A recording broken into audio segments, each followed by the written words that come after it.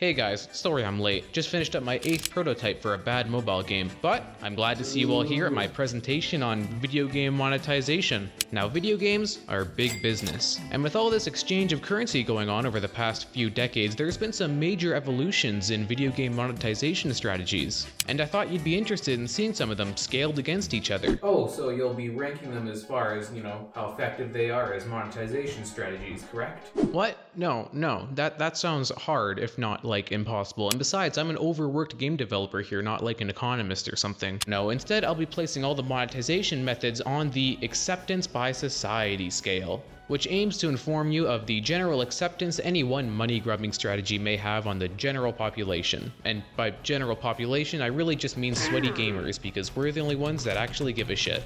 So, let's get started with pay to own, the traditional method games made money. You would purchase a physical copy or a digital license to play a game. Now, back in my day, things were simple. I used to walk 14 miles to the game store so I could own a copy of fucking Bum Bum's Oreo Defense on my Nintendo, which costed me 14 cents. Yeah, pay to own just gets a pretty solid rating overall, with physical maybe getting a slightly higher rating because while both let you play the game, only one gets you an actual physical copy of the game. That you can resell later, by the way, or even pick up old games used, but you do miss out on digital sales, so there's that. Nevertheless, pay to own pretty good rating. And while we're here, DLC, or downloadable content, where you pay for additional content for an already existing game. It's the same general idea, and so it gets the same rating. Now, while pay to own may be the first thing that actually comes to your mind when I say pay to play, it really isn't the only way you can pay to play a game. Subscription services, you pay a monthly fee, and you can only play the game while your subscription is active. Wow, these fucking suck. It is crazy to think that they were at one point seen as the only way to keep up a live service game. Yeah, most modern gamers see subscription services as old and dated and just kind of like a pain in the ass, so they get a pretty bad score overall. Now, as an offshoot of subscription services, uh, memberships are something. See, the game is free, but you can pay a monthly subscription for something? Sometimes they're just pseudo subscription services so that the game developers can claim their games are free to play, and other times they just give you items or make your name golden or something like that. In any case, memberships are also seen as kind of dated and old, but I would argue they live on quite, quite strongly, just under a new identity. More on that later though. Yeah, memberships, they go, uh, I don't know, they go here, I guess, I don't know. Moving along with free to play, advertisements are the low tier games monetization method of choice, and they are not well liked. They're often the marker of a cheap game that no one would want to actually spend money on, and they can be seriously intrusive to the gameplay experience. Now, they can be a great way for smaller name games to get some revenue, and they don't have to be annoying. Most people understand the purpose and even the value of ads, but that's not going to stop them from hating them. And so, with a heavy heart, ads get a pretty shitty placement.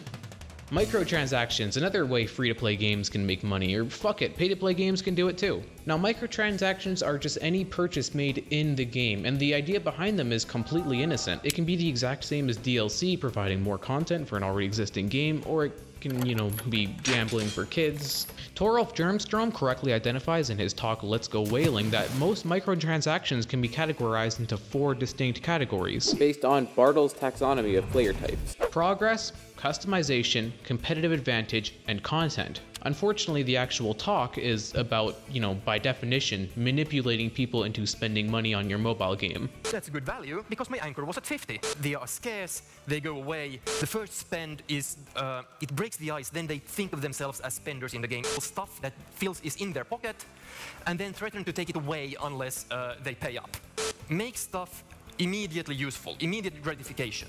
And you can start to see why microtransactions have such a negative connotation attached to them. But we'll try and split them up into these four parts anyway and place them accordingly on the scale, which is a very difficult thing to do because of just the variety of ways games use to actually push these microtransactions and how they let their existence bleed into the game design.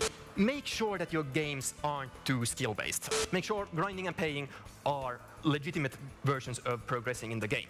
The loop always goes through the meta stage where, where your store, where, where you're, you're spending money. But let's try anyway. Now progression microtransactions are easy to place. They're fucking shit. They directly incentivize grindifying gameplay loops, and they feed off our human instincts for achievement and progression. Customization microtransactions have had historically pretty questionable ways of pushing themselves onto players, but they don't affect gameplay, and they can be a great way for players to express themselves, so overall not too shabby. Competitive advantage microtransactions. No, though those fucking suck. Content microtransactions. Uh, sure, it's just DLC. It gets the same placement as that. Gambling microtransactions. Now, this is a method, not a type. I, I know that, but it gets its own placement because it is just fucking evil. You guys would love it.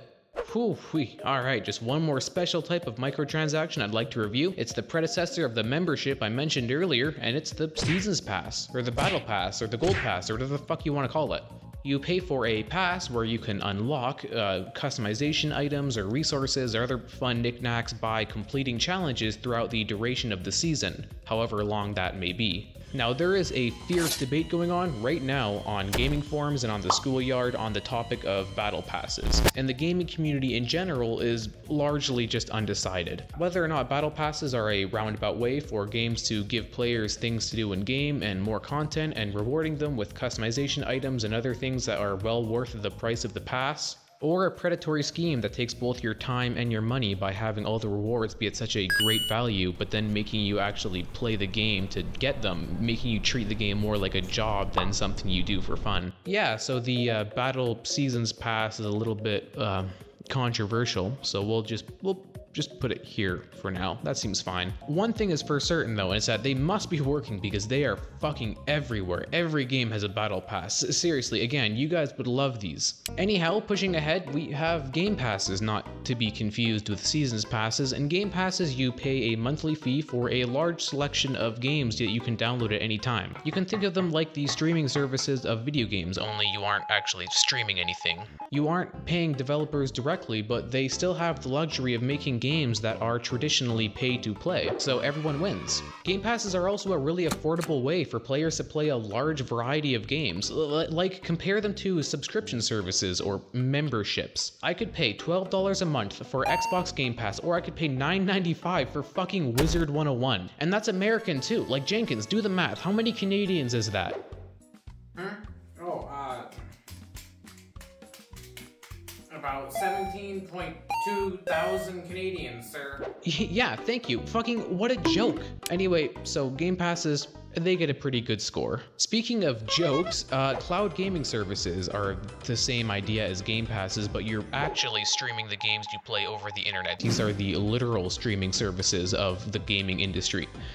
Uh, and they go right in the this is the future box. All right, well, I think that about does it for the main methods. And oh, nope, it, it looks like we still got some things to talk about here. So, um, Selling user information is, I guess, one way to make money. This is not accepted, nor should it be. It goes at the very end of the scale. Uh, oh, this is a fun one. So arcade style, so like pay to attempt, I guess. Uh, in current year, this just kind of goes in the novelty box over by Jerry there. Back in my day, things were simple. You pop a quarter to the machine and you got to play Bum Bum's Fruit Roll Up escape for 20 seconds before you died. And all right, now we are done. So I hope you enjoyed my presentation. My name is Patrick. Um, now that we're done here, I'm gonna go get some sleep and wake up to another great day of work. Am I right, guys? All right, bye bye, everyone.